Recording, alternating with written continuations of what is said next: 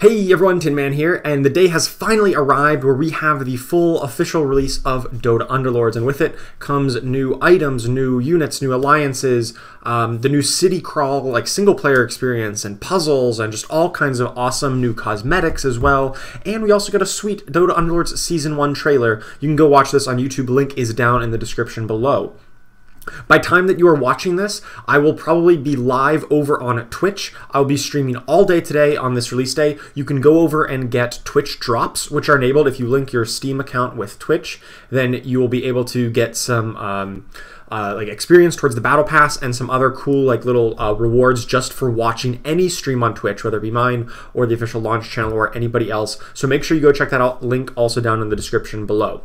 With that in mind, let's get over to the patch notes. So Dota Underlords coming out of early access, and of course we have got a ton of new stuff. First up is the City Crawl. So the City Crawl is going to be a sort of like single player campaign where you're going to have uh, like kind of quick uh, called street fights, like a little quick um, couple rounds, you versus like a, a pre-made scenario. Uh, there's in-game uh, challenges, uh, in-game uh, puzzles, or, or, sorry, the challenges are kind of like the kind of like the daily quests uh, used to be, where it's just like you know do X things in a game, um, and other kinds of like you know objectives to get through the city crawl. There's going to be puzzles um, and just like all kinds of other uh, like ways of ranking. There's like going to be a leaderboard uh, among your friends uh, for like who can do the puzzles in the the most efficient way or the fastest time or some other little things. Uh, so a lot of awesome competition there. I'm really looking forward uh, to seeing how those puzzles uh, turn out because I think that's a really cool idea in this style of game. Uh, of course, there's going to be the Battle Pass, so uh, do make sure that you pick up the Battle Pass. I believe it's uh, $4.99 for for you uh, for about five US dollars. Um, the paid battle pass is not required to play the game. You can still play the game just normal, but it does provide a lot of cosmetics. It does support the developers. Of course, this is the very first monetization that has ever been in the game. Uh, it's never been uh, monetized before this, and it's been out, and I've played over a thousand hours in it so far without giving them penny. So I'm really excited to, uh, you know, finally be able to support the developers um, of this awesome game that has given me so many um, countless hours. And of course, there's going to be tons of rewards for getting the battle pass. Uh, you're going to get all the sweet cosmetics. Uh, I believe it uh, unlocks unlocks full access to the city crawl, so like you don't get all of the city crawl access without it. So do make sure you pick that up, and you can also get bonus rewards with that if you're watching over on Twitch, which you should go do right after watching this video. Anyway, so let's get on to the actual gameplay changes. There's going to be some Hero Alliance and item changes, and um, the Scrappy and Inventor alliances we knew were going to be removed, and they're also going to be introducing the Summoner Alliance, a new Vigilant Alliance, and a Void Alliance. So we already know a couple units in the game like Void Spirit and Faceless Void, which are uh, going to be part of that, as well as a couple other units. Um, and there's also a new item type called hats. Of course, it wouldn't be a Valve game without hats. Um, so let's get down to it. There's also a little uh, blurb here about returning players. Uh, if you played during the beta season, which I'm sure most people watch my channel have been, if you've been watching for a long time, um, you will get a little bit of bonuses for being uh, as part of Season Zero, is what they call the Season Zero maps, and a Golden Ricky statue, a poster title as well. So that's really cool. We talked about that in our last video, uh, talking about the news ahead of time. Okay, actual gameplay changes. R item rounds. So first off, the item rounds are getting slightly adjusted. They used to be every five rounds, but we've kind of, they've kind of um, sped up the game over time with some other changes. So they thought uh, it seems like items weren't coming out quite as much, so there's going to be a quicker pace of items every four rounds instead of every five. So you get a little bit more items per game. And then also you have the option to re-roll your items just once per round. The uh, the three choices that you have can be blacklisted, so you won't get those three choices again, and then you reroll and you get a new choice. So this should give you a little bit more control over the items. You know, it's not quite a full like um, crafting system or anything like that where you have like infinite control, but it does give you a little bit uh, better control, and you get more items in, in this new uh, scheme. So I, I do like that change to give you a bit, you know, better access to to the items that you want if there's specific ones for your strategy, especially with the new hats that are looking to be kind of defining uh, items towards your build. Okay, so this is uh, one change and I'm not the biggest fan of. The ace effects have been removed from the game. Uh, that includes the bonus chances to find an ace unit as well as the ace bonuses themselves. And this system is they're they're going to reevaluate it and it'll return in, at some later date because, um, you know, whenever the ace effects came out, I think there was a lot of like, um, what's the deal with these? And uh, over time, I think we we as a community kind of like got used to it. Like, oh yeah, there's aces, and, and they're cool, uh, right? You know, a good idea. Um, but there's there was always been this kind of uh, like tension of you know what alliances have an ace and what don't. Okay, mages have an ace, but why don't warriors have an ace? Oh, knights get an ace and then they lost their ace. Why do hunters get it and not you know assassins? And then eventually assassins did get it, and it was always this kind of like, well, why do they get it and not me? And it created a little bit of a balancing problem. And like the solution to that is give everybody an ace, which would be 26 aces. I think there's 26 alliances in game, um, or give no one an ace. Um, or just like have this weird balance where like the the alliance is balanced around you finding the ace, but then if you don't find it because it's rare, it's then underpowered or, or overpowered. So I uh, I, I thought they the system was like okay as is, but I can understand why they may think that um, it could be better implemented. I do like the idea of kind of like this capstone unit or like a a powerful late game payoff but I'm not sure the aces as they were implemented was the right way of doing that. And this removing that gives them a little bit more flexibility in terms of like what can be tier five and like how to balance the alliances and units around that rather than assuming that the ace effect would be in. And we've also had some problematic aces in the past, like Disruptor when he was Ace of Warlocks was really problematic at some time. So, um, you know, this probably won't be the most popular of changes, but I think it's it's done for you know a, a good reason, and I think um, if they're they're going to evaluate that and we can get some ideas and some feedback and maybe it opens up more possibilities for a better design later down the road. Okay uh, poison. The poison that comes from things like Enno and Venomancer and Orb of Venom, uh, the healing reduction has been increased on that, so it'll be uh, even a better counter against opposing healing strategies. And also, there's this beneficial cells uh, concept that has kind of been in the game, but it's always been a little bit buggy, a little bit uh, weird. Cells that are marked as beneficial from an ability, such as Drow Ranger's Precision Aura, Knight's Alliance bonus, or a Mango. Ooh, I love mangoes. Uh, more on that in just a bit. And they should all be working now in all cases. Also, the uh, hero rotation, as we knew. Uh, we knew that the Scrappy and Inventors were going out of the game, so most of the Scrappies, um, Alchemist, Bounty Hunter, Clockwork, uh, so on have been removed, but also Enchantress and Kunkka are two units that have been removed. Uh, these were not uh, Scrappy nor Inventors, but they did get removed as part of this uh, rotation. And in exchange, we got a bunch of new units into the game. Uh, well, maybe not quite new units, but ones that are coming back from from a bit of a hiatus. So Arc Warden is back in.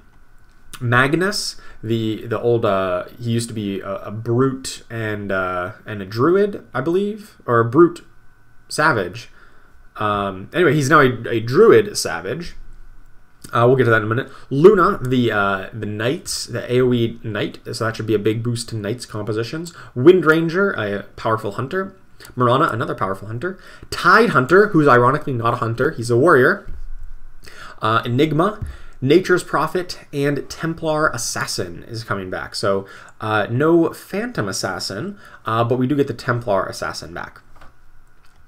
And of course, the following line's been removed. Yep, yep, yep. Uh, we knew these were coming. Summoner, Vigilant, and Void coming in. And also they wrote out a couple items from the game. Aeon Disc and Healing Ward, which were just kind of two items that were like a cool concept, but never really found a lot of footing and I never thought were like super useful, so I am a-okay to see those ones gone and maybe reworked for the future. The following new items have been added to the game. There's a whole bunch of new items. Uh, there's nine on the list here. Uh, Armlet of Mordiggian, Crown of Antlers, Dragon Lance, Kaden's Blade, Legbreaker's Fedora, Mango Tree, Mantle of the Flayed Twins, Quelling Blade, and Restool Circlet. Look for an upcoming um, video discussing all of these items in much more detail, and we'll talk about them a little bit uh, down below. Underlord changes. So uh, the uh, Jull has been buffed a little bit. Barrels of Fun now cast at 12 seconds instead of 15. Happy Hour at 8 seconds instead of 10. Uh, Enno's attack rate has been slowed, so he attacks quite a bit slower now, um, from 8.33 attacks per second up to, uh, or wait, no, this is much faster. Sorry, I got got it reversed. Much faster attack speed, 1.4 attacks per second. I don't know why they go down to four or three decimal spots, but regardless, it's much faster attack speed out of Eno but his um his damage has also been increased. That's interesting. So his attack damage has gone in got to be increased. That's pretty powerful. Um, went from 70 minimum up to 90 minimum, and so on. I guess yeah, at, at every level, it, it, pretty much got stronger. And uh, but at all out attack, his his you know attacking ultimate is now quite a bit weaker. The stun duration is down from 2 seconds down to 1.5, and instead of stacking 5 stacks of poison right away, it only stacks 2 stacks. Of course, the, the poison has been buffed a little bit in terms of its healing reduction, but the damage output from this should be much lower, and it will be a little bit more focused on his auto attacks rather than the all-out attack, big AoE, hit everybody with a bunch of stacks of poison anymore. Hero changes. So Arc Warden is back, but he is no longer quite as oppressive as he used to be. He used to be a tier 4 uh, unit, but now he's been changed down to tier 1. And he is now a Primordial Summoner instead of a Shaman, because the Shaman Alliance is not in the game. He now has mana. He will be able to accumulate mana. And whenever he gets to his maximum mana, he will cast Tempest Double, which makes a copy of himself with the same health that he currently has. That Tempest Double can also make Tempest Double copies, which can also make Tempest double copies, which can also make Tempest double copies. And you can see how this summoner idea gets out of hand. So um, I'm a little concerned about this because last time we saw that Arc Warden clones could create more clones was whenever they also copied the item, and I believe they came out at uh, at full health or at like some some larger health percentage. Now it comes with the same health that he currently has. So if somebody's you know beating up an Arc Warden, uh, you, are going. Your Tempest double copies are not going to be full health and not going to be quite as scary. And that's fair for a, a one cost unit. I'm really looking forward to playing with him and seeing uh, how many Tempest doubles you can pump out. If you get a um, like humans to give a bunch of mana gain or something along those lines, should be really cool. Axe. Axe has been changed from tier 1 all the way up to tier 5. He is now a monster truck. Obviously, his stats get buffed through the roof. He now has 3,000 HP and 15 armor as a baseline at tier 5. He no longer has Berserker's Call. Instead, he has Counter Helix. Whenever Axe is attacked, he has a uh, about a 20%-ish chance to uh, do a Counter Helix, which will deal 50, 100, or 150 pure damage to all enemies uh, directly adjacent to him.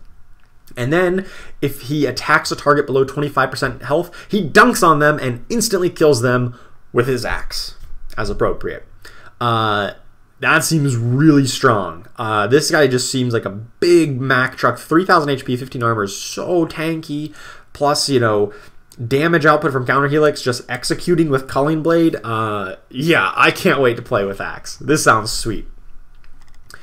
Next up, Bristleback. Bristleback has been moved from tier two or tier four down to tier two, so now he's much more accessible in the early game. But of course, his uh, stats have been cut rather dramatically to uh, make up for that. His his baseline like uh, attack and health is is a little bit weaker. It's not that much weaker, but his quill spray now deals about half as much damage as it used to. Uh, base damage, I guess it went from sixty or from forty down to twenty and then the this bonus stacks. Yeah, the quill spray deals about half as much damage as it used to.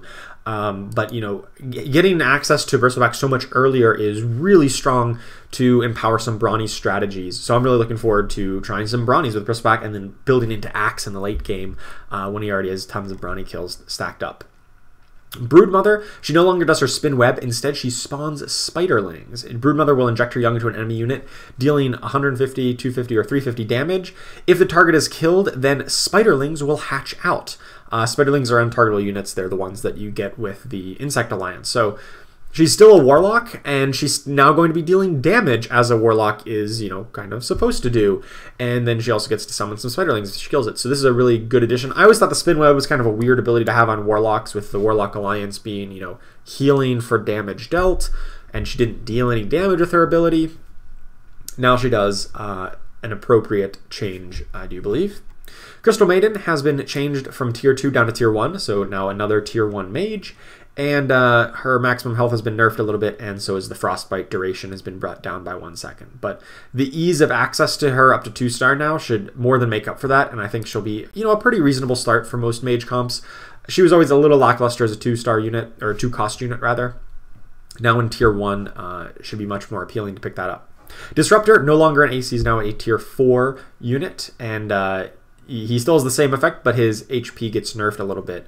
This is another really big buff to Brawnies. Disruptor still being a Brawny, and of course with Bristleback moving down earlier, I really think Brawny is going to be a, a big popular strategy in this patch.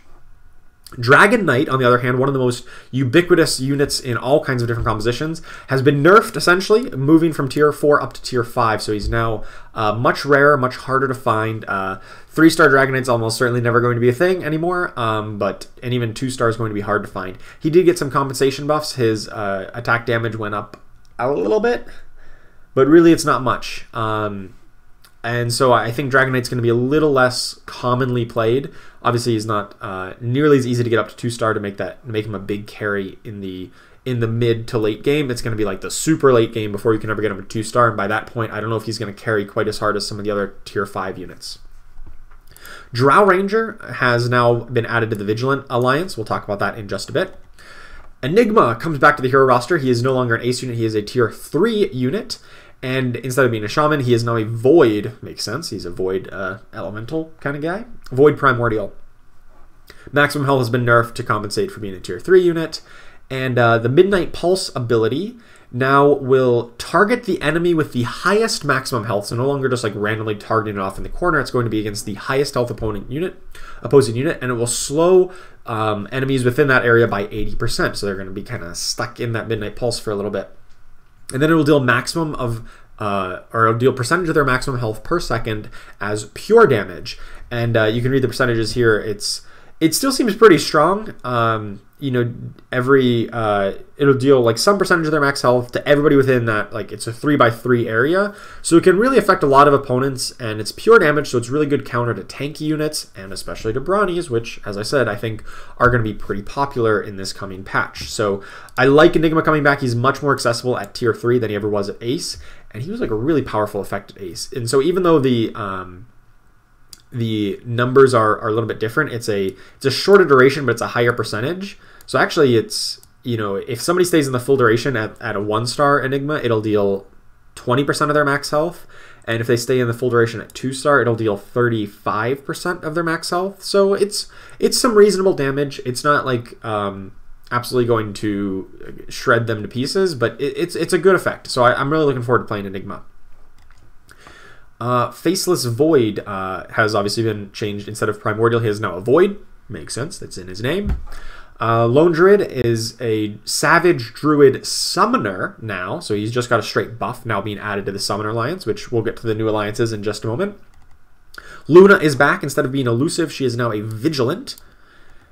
Lycan uh, is no longer a hunter and has become a summoner, and now he will once again summon his wolves when he uh, shapeshifts. So he gets a little bit of a nerf in terms of the health percentage and crit strike chance when he transforms, but now he gets his wolves back, uh, which will obviously benefit from the summoners, and they're just really powerful. So I still think Lycan's going to be a great unit in a lot of cases.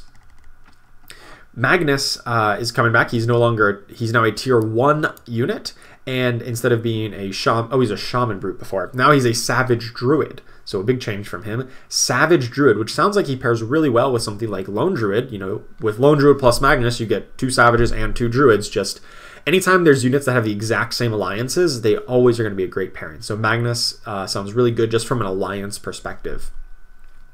And he's still pretty tanky with a lot of health for a tier 1 unit. So I, I like Magnus a lot just on paper from this. Medusa, her split shots uh, been nerfed a little bit. Uh, she was pretty strong, so she's just going to get two split shots no matter what, what level she's at.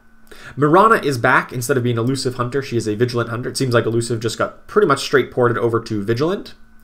Uh, Nature's Prophet, he is a now a druid summoner. So Nature's Prophet also goes really well with Lone Druid, who is a savage druid summoner. Um, so Lone Druid plus Nature's Prophet makes two druids, two summoners and uh, he no longer does a nature's call. He does summon lesser treants as expected. Now uh, assuming these are still roughly the same stats as before uh, i thought these treants were a little bit weak but maybe with the uh, summoner alliance he'll make sense. And he does have really good alliances. Druid and summoner is pretty good. So um, looking forward to playing with him.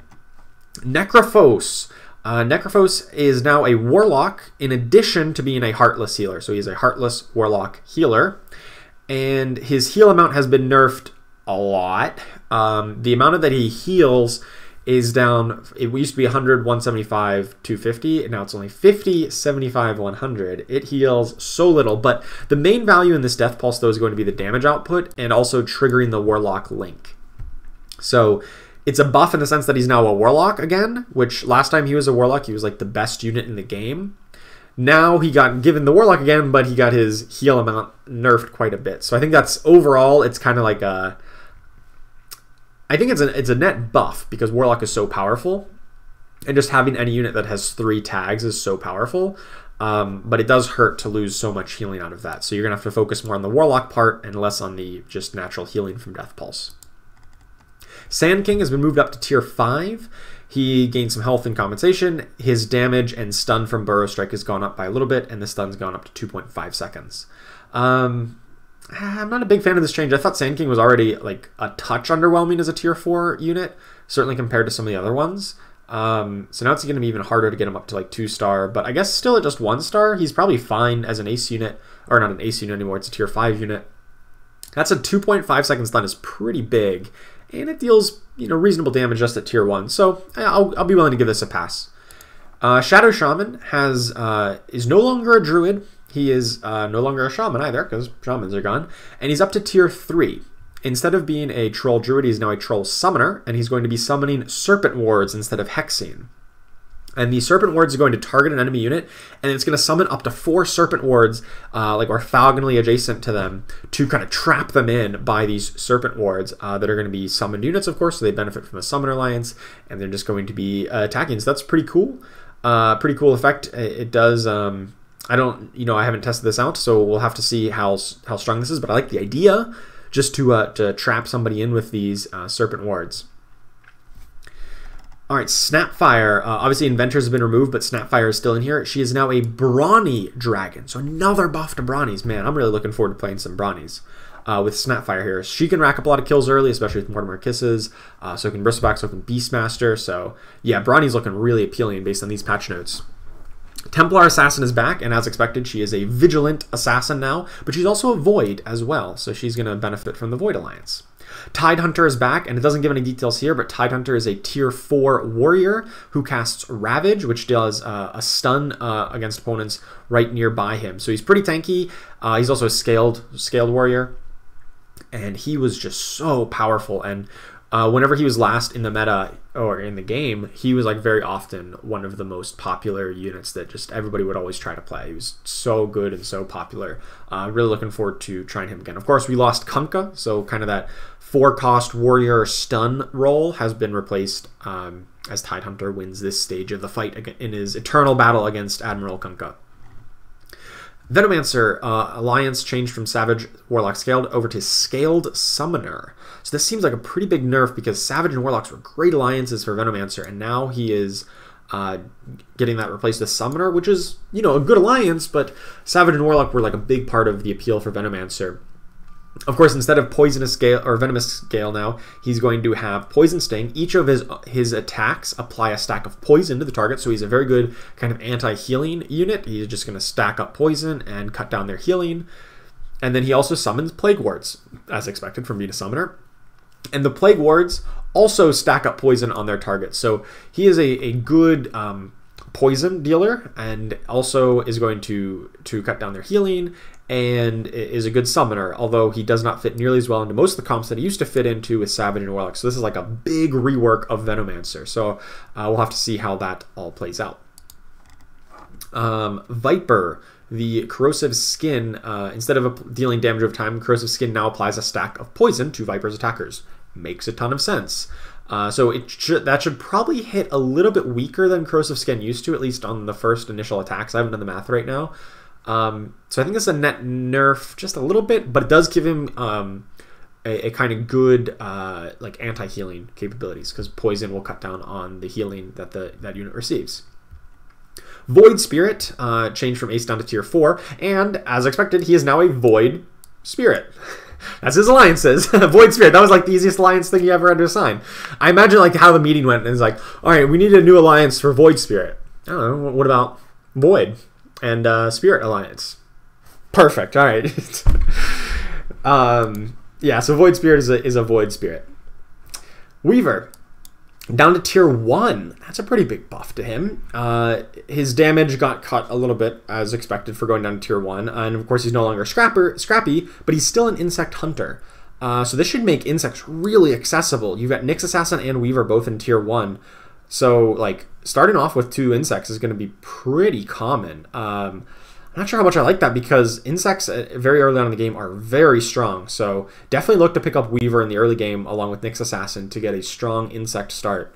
Uh, being in tier one, I think that's that's going to be a powerful early game strategy along with things like Brawnies and and even Druids are seem really accessible in the early game now.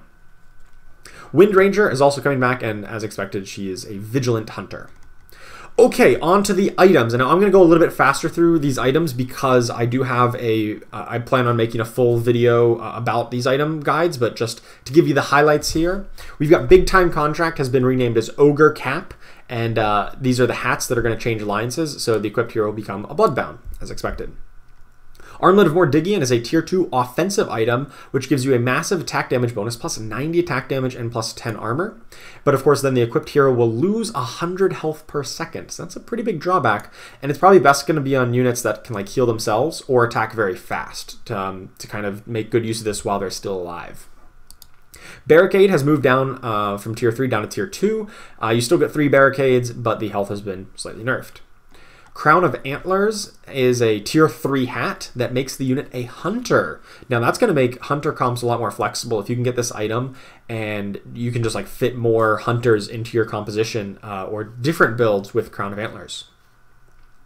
Uh, next up, uh, Dragonlance, a tier 2 offensive item. It is a ranged only item, will give plus 20 attack damage, and then the equipped unit will have unlimited range. They can attack on anywhere on the board. Um, yeah, that item seems really cool on like some of the short ranged uh, ranged units. They can just sit in the back and just like always hit anywhere. They never need to move, just kind of like how Sniper used to. Um, so I'm curious to see how that plays out. For just a tier 2 item, it's a relatively low investment to get the kind of effect. Hand of Midas has been nerfed up to uh, tier 3. It was always like one of the most powerful tier 2 items, so I'm kind of okay with that, but now it seems a touch weak for tier 3 items, especially if you're going to be getting the gold generation later on in the game. Kaden's Blade is a tier 4 offensive item. Instead of their normal attack damage, equipped heroes' attacks will deal 7% of the target's maximum health as pure damage. So this is a really good counter to tanky units, just like Enigma would be when, when we're talking about percentage of max health as pure damage. Uh, also really good against Brawnies. So I'm really looking forward to seeing this um, in like hunters who attack very fast and can burn through uh, like a big tanky brawny opponent or a big tanky like warrior or knight uh, I think is a good addition to the game to kind of provide a check to those type of strategies. Seven percent max health though sounds a little bit weak against um, some non-tanky strategies. So if you're not going up against one of those, this might be a little bit of a weaker option. Leg Breaker's Fedora is a wonderful named item that makes it's a tier three hat that gives equipped hero uh, uh, makes them a brute. And Brutes is like a now very splashable with this. I don't know how often you're really going to want to use this to make up to like four Brutes. Uh, maybe, maybe you would. Uh, but because brutes only require two units, it's probably going to make it very easy to like say, oh, I just have like one treant protector, and then you give this brute to somebody else. And uh, cool thing here is it can actually go on ranged units, and now you can have a ranged brute, which is something we haven't seen in the game yet. So it sounds pretty powerful. Uh, we'll have to see how that that plays out though. Mango, Mango Tree, a tier 3 contraption. At the start of combat and then every 2 seconds afterwards, the Mango Tree throws a mango up to 2 cells away. Any unit that touches the mango will eat it to gain 50 mana and 100 health. So this sounds like really cool with like backliners, like you stack this in the back and then you're just like, it's just like a mana battery for your units and also a little bit of healing as well. Um, it does say any unit though, so like opponents can jump in and steal your mangoes. So you want to be protective of your mango tree to make sure that only your units are eating those um, those sweet sweet fruits. Mantle the Flayed Twins, a tier 2 hat item that makes the equipped hero a Deadeye. And Deadeye is just a one unit alliance now, since obviously Sniper and Gyrocopter have been removed. And it still says the same thing the Deadeyes will focus their attacks on the lowest health target. Quelling Blade, a tier 2 offensive item, uh, plus 25 attack damage. The equipped hero will prefer to attack summoned units. Attacks against summoned units will crit for 200% damage. So this is a good counter to summoner strategies, which I'm sure are going to be very popular here uh, with the new Summoner Alliance introduced. So if you're seeing a lot of opponents on summoners, make sure you pick up a Quelling Blade to help slice through them. Restool Circuit, a uh, or Circlet, a tier 3 hat that makes the equipped hero a demon. Oh, I am really looking forward to this one. Um, if you've ever played with like a and, and, and Thrall, you know that making just a, a unit into a demon, if you ever got like a, a Weaver into a demon, that casts very fast and attacks pretty hard. Um, making something a demon is a really powerful effect. Uh, so I think this one has a big potential to be busted on a lot of different units. Uh, Target Buddy, a tier two or tier um, sorry tier has been changed from tier three down to tier two, and the armor and health has been slightly nerfed. So we're going to see a little bit more target buddies uh, now that they come a little bit earlier and they're competing against uh, kind of less powerful items. So I thought target buddy was great when he was popular at tier two, and then he got nerfed to tier three, and you like pretty much never saw him again. So uh, I like that change a lot.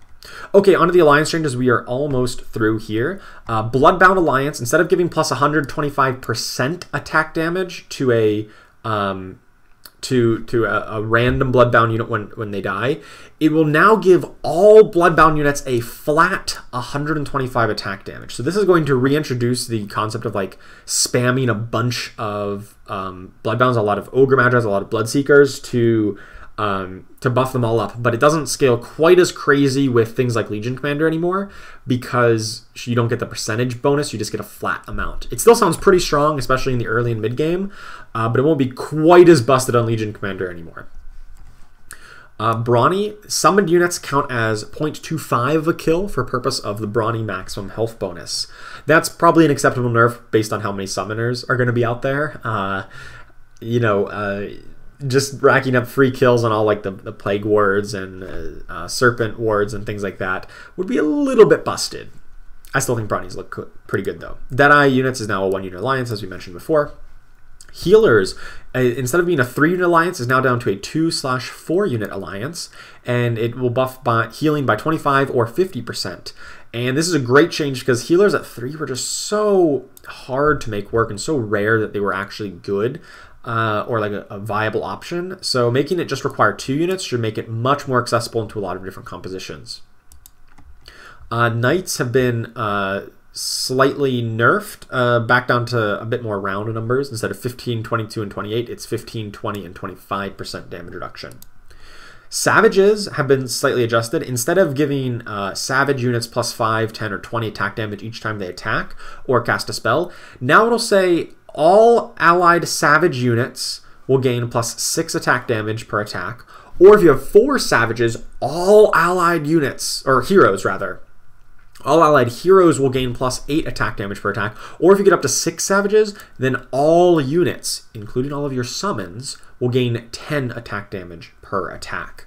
So, wow, I like this kind of differentiation between like you get differences in kind. Um, not just it's not just a flat damage increase or or percentage increase. I mean, it is a damage increase, but it changes the way it works as you get more of them, and I like that change a lot. I think this sounds really cool, um, and I can't wait to try a six savages with all allied units and just spamming out a bunch of summons that all ramp up ten attack damage each attack. That sounds really fun.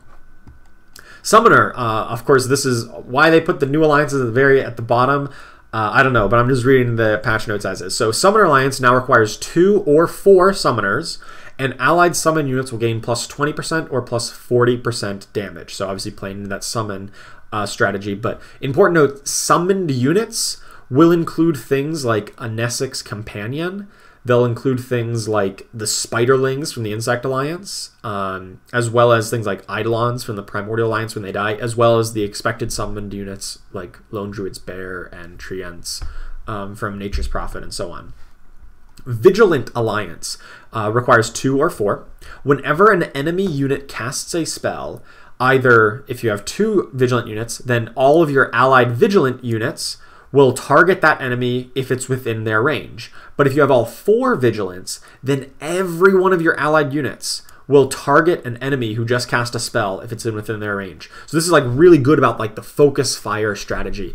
Oh, you just cast a spell? Why don't I just like get everybody to focus on you and kill you off right away so they don't get to get much benefit right afterwards. I think it's really cool especially with hunters because a lot of the vigilant units are hunters to help with that focus fire idea. And they've got pretty long range, so a lot of them will be able to bring in that focus fire whenever an opponent casts a spell. And finally, we have the Void. Uh, it requires three units in the Void.